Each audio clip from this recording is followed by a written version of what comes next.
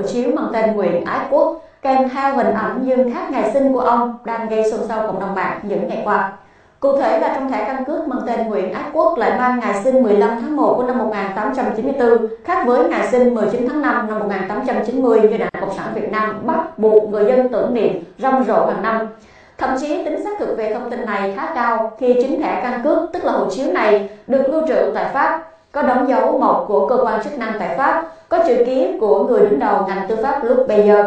Nay nó là được công bố ra công chúng. Sau khi hình ảnh được đăng tải và chia sẻ, nhiều người đặt câu hỏi Nguyễn Ái Quốc trong thẻ căn cước sinh ngày 15 tháng 1 của năm 1894. Vậy Nguyễn Ái Quốc sinh ngày 19 tháng 5 năm 1890 là ai? Dạ vâng thưa cụ, liên quan đến một số những nhân lực của Đảng Đại Việt lúc bấy giờ chắc chắn đã có những cái giao tình rất ờ, đặc biệt đối với cụ.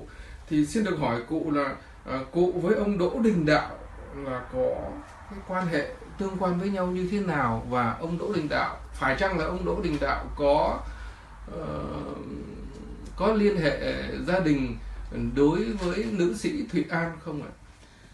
Ờ, vâng ông Đỗ Đình Đạo thì tôi không có trực tiếp nhưng mà ờ, khi mà cái trụ sở của Việt Nam Cách mạng Đồng Minh Hội thành lập thì Đỗ Đình Đạo ở trên Vĩnh Yên và Phúc Yên là hai cái đất như là cái đất riêng của đảng Đại, Đại Việt, Đại Việt có tăng cường một dạ. số những người về để mà giữ an ninh cho cái đài phát thanh trụ sở. Đà, cho cái trụ sở đó dạ, dạ, dạ. thế còn bà Thúy An thì có liên hệ với lại lãnh đạo nhưng mà người ta không hiểu ở bên trong thì tôi cũng không hiểu được hết tất cả những cái chuyện của bà Thúy An yeah. Dạ. nhưng mà bà Thúy An thì uh, có hoạt động về phía cho ông Đỗ Đình Đạo Dạ vâng thưa các anh chị em sở dĩ ừ, tôi đã mạo muội xin phép hỏi cụ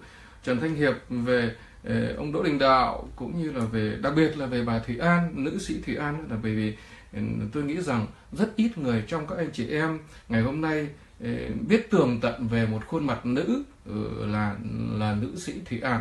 Ờ, là người đã tự chọc mù mắt mình để phản đối chế độ cầm quyền ờ, cộng sản trong cái giai đoạn 1950 và ờ, bà đã bị bắt giam tù rất là lâu. Và cái trại tù sau này tôi vào chính là trại tù của bà đã ở. Lúc bấy giờ là bà à, bị một cái tên tức là bị gọi một cái cái tên à, là an chột. À, vâng à, đó là trại mà thời Việt Nam Cộng Hòa có một tác phẩm gọi là tác phẩm trại đầm đùn liên quan đến ông Lý Bá Sơ vâng, vâng. đó và sau này gọi là trại năm Thanh Hóa là trại mà Phạm Thanh Nghiên có ở trại mà Tạ Phong Tần mới đi ra đó và và cấn thị, thị thêu trong thời gian ờ, tù lần trước là nó có ở cái trại đó thì xin nhắc lại cùng với các anh chị em để thấy rằng một khuôn mặt nữ rất là đặc biệt trong giai đoạn 1950 1960 và đã phải trả giá rằng cả cái đời tù của mình ờ, tức là suốt gần 20 năm tù và ờ, một con mắt của của bà bà Thụy An. Nhưng mà lúc đó thì tôi bắt đầu uh, từ một thanh niên trẻ đó có sự liên lạc với lại uh, cái lớp người đàn anh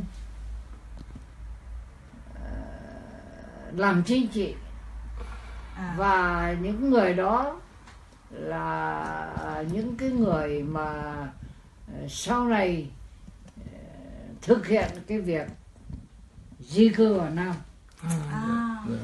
thì tôi có tham gia vào cái việc ừ, ở đó yeah. Dạ. thì uh, tôi uh, vì vậy có liên hệ và được chọn vào làm những cái người Ờ, gọi là nhân viên trẻ là trong văn phòng của những người uh, nhân sĩ đứng ra để mà lo cái việc di cư vào trong trong trong dạ vâng con uh, nhân việc mà cụ nhắc đến cái phong trào uh, di cư vào trong nam thì con xin được con xin được hỏi cụ là hình như con được biết là cụ thì là vào trong nam nhưng bà cụ tức là mẹ của cụ đó thì lại không vào được trong Nam phải không ạ? vâng Dạ lý do tại sao thưa cụ? Là vì mẹ tôi ờ, ở vẫn ở trong quê của tôi là ở Hà Tĩnh Dạ là Hà Tĩnh. Dạ dạ dạ. dạ. và khi ờ, bố tôi mất rồi đó thì ờ, thì mẹ tôi có từ Hà Tĩnh có ra Bắc để gặp Dạ ra bằng cách nào tôi đó là không có xe. chú em Dạ. Dạ. Là ra Hà thì Nội. cụ cụ là người mà năm nay nếu cụ sống thì cũng một trăm mấy chục tuổi rồi thì lúc đó đó là đi bộ thì không đi được mấy trăm cây số không đi được mẹ tôi tập đi xe đạp Dạ. và đạp xe đạp từ trong quê ra để mà gặp anh chị em chúng tôi Từ Hà Tĩnh. Từ Hà tới Tĩnh. Dạ. Ra Hà Nội. thì khi gặp đó thì anh em chúng tôi nói rằng thôi thì bây giờ mẹ đã ra đến đây mẹ ở lại. Thì mẹ tôi không không chịu ở lại. Không phải là vì lý do chính trị mà vì rằng mẹ tôi ờ, tôi còn có một thằng em út. Dạ. mà mẹ tôi nói rằng không thể để nó một mình ở trong đó bà cụ lại về. Dạ vâng. Con rất muốn được ờ, thu lúc ban nãy khi nghe cụ nhắc đến ờ, có một lần ờ, cụ Hiệp đã trở về quê của mình để để thọ tang để chịu tang ông cụ. Tức là là là là bố của của thân sinh của cụ. Con rất muốn được ờ, được cụ chia sẻ với những anh chị em trên khắp thế giới. Vâng, thì ờ, có tôi có một lần Ờ, tôi nghe tin là bố tôi mất rồi. Thì từ ờ, ngoài Bắc, tôi có tìm cách để về ờ, quê và cúng cái chuyện lúc bố tôi đám tang tôi không có mặt ở đó thì vào cái thời điểm ấy là vào khoảng độ 1947 hay là 48 đó dạ thưa cụ thì à, tôi đi bộ từ ngoài Bắc vào Hà Tĩnh trên 200 cây số Cô đi bằng gì ạ? à, Cô đi bằng gì? Đi bộ. đi bộ Dạ, Đi lúc bây giờ là đi chân không Đi, dạ. À, cụ đi bằng chân không hay đi bằng dép hay đi bằng chân giày không thì tôi đi guốc tôi mua một đôi guốc mới đi Dạ. mà khi về đến nhà thì guốc mòn hết rồi 200 cây số. vui lắm Dạ. nhưng mà hay lắm dạ về đến nơi thì mẹ tôi ờ, trên bàn thờ bố tôi đó còn treo cái gậy với lại cái mũ lá chuối. Thì mẹ tôi đội cho tôi cái mũ và đưa cái gậy cho tôi nói là thôi ra ngoài ờ, ngoài đồng cái là nơi mộ của bố chôn để mà cúng đi Dạ. thì tôi có đi ờ, đi cúng bố ở ra ngoài mộ đồng. Dạ. về đến nhà thì hàng xóm đến nói nhỏ vào cho mẹ tôi biết rằng công an sắp sửa đến bác đã rồi Dạ. Dạ. Mẹ tôi lại phải ờ, tìm đường mà đưa cho tôi đi thuê một cái đò riêng đặc biệt để đi ra ờ, khỏi Hà Tĩnh mà lại trở về Bắc. Dạ. Dạ, lúc đó là cụ đã ờ, ở lại được bao nhiêu ngày rồi Ở không lại chưa Hà được ở được cả một đêm ở đây mà. Dạ vâng. Là mẹ con chưa chọn một chưa chưa được ở được một Dạ, đêm mà một đi đêm. bộ hơn 200 cây số. Dạ. rồi đi về 200 cây số là là 400 cây số.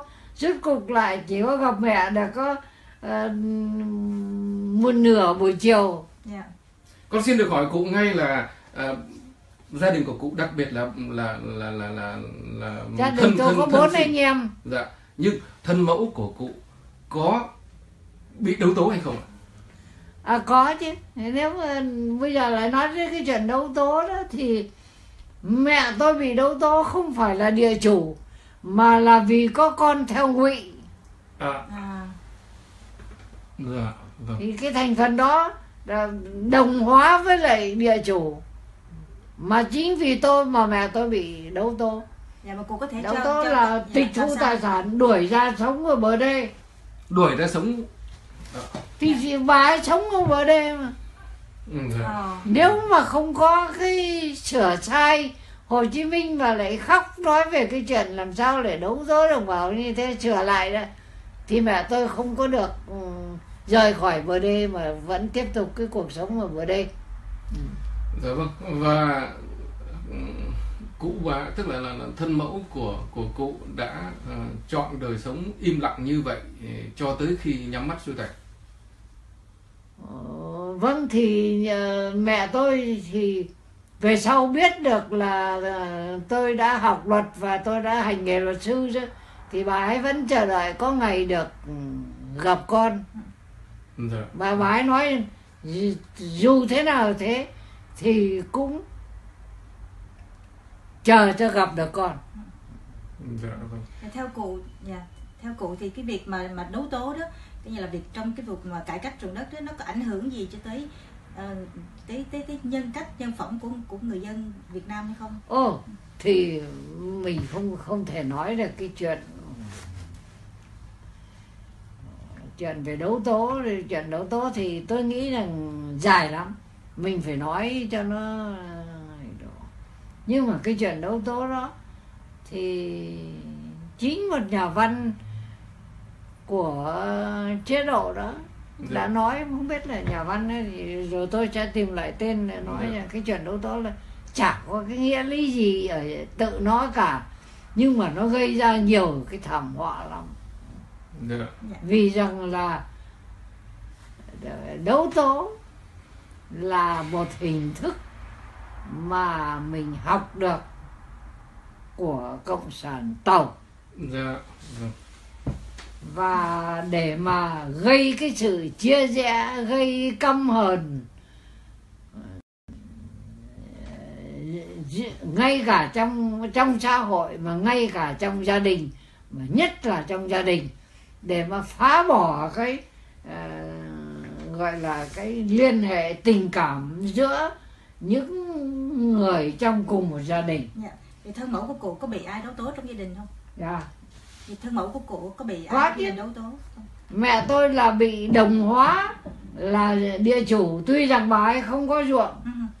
nhưng mà vì rằng bà ấy có con theo ngụy cho nên bà ấy được kể như là địa chủ. Dạ. Và bị đấu tố và Ngụy. bị ngụy nghĩa là sao ạ? Ngụy nghĩa là theo pháp hay ngụy nghĩa ngụy là nghĩa theo Nguyễn là không theo Việt Minh. Không theo việt minh nghĩa là ngụy. Là ngụy dạ dạ dạ như vậy ai là người đấu tố ờ, thân mẫu của cụ thì đấu tố đó thì tất nhiên là muốn đấu tố thì người ta phải tìm những người ở trong gia đình có liên À. hệ với gia đình hoặc là à, cày ruộng cho gia đình hoặc là ở vũ ở nuôi trong gia đình. Dạ. Hoặc là làm công cho gia đình. Dạ. Thì cái điều mà ờ, tôi nói thực là có một cái lúc vào cái thời điểm đó khi tôi biết được tin thì tôi bảo rằng nếu tôi có vũ khí trong tay thì tôi sẽ tiêu diệt những người đó. Vì những người đó là những cái người anh em họ của của tôi. Dạ. Và đã được mẹ tôi cưu mang cho những cái khi mà à, họ cần được nâng đỡ. Thì những người đó bị tổ chức nó gọi là tam cùng nó gây căm hờn. Rồi nó nói rằng tất cả những cái điều mà trước là giúp đỡ thì đó là một hình thức bóc lột. Dạ. Đảo ngược lại tất cả những Dạ. cái ờ, đạo đức nhân cách của con người. Thì không còn gì nữa rồi. Không còn không, bố mẹ là con cái vợ chồng anh em bạn bè là đảo lộn hết. Nó làm nó phá hết không còn cái liên hệ tình cảm gì nữa. Dạ. Ừ. vậy đối với cô cái cái cái cái cái um, những cái hậu quả của cái cải cách ruộng đất đó nó có ảnh hưởng gì tới thế hệ bây giờ không? Cho thế hệ bây giờ đó thì người ta thật sự ra là thì người ta cái việc đó không ai không ai muốn nhớ đến. Nhưng mà nó thế này. Những cái gì mà có những người được hưởng nhờ cái chế độ chờ bộ đấu tố đó Dạ. thì ngày hôm nay lại bị tước đoạt lại. Thành như rốt cuộc lại là cũng lại chẳng có gì nó cũng làm nạn nhân của một cái cuộc ăn cướp mà quy mô lớn. Dạ ăn cướp quy mô lớn dạ cái chữ này là Dạ, đáng nhớ vâng. Dạ, vâng, thưa cụ. Vâng các anh chị em nhé. À, tôi nghĩ đây là một buổi trao đổi hết sức đặc biệt à, mà cụ đã à, tâm tình với anh chị em chúng ta. À, sức khỏe của cụ đã rất yếu. Ờ, các anh chị em đừng quên rằng cụ đã 92 tuổi và chất chồng cuộc đời của cụ là là những tháng ngày lưu vong đi hết nơi này đến nơi khác để mong ờ, làm được những điều tốt đẹp cho xứ sở.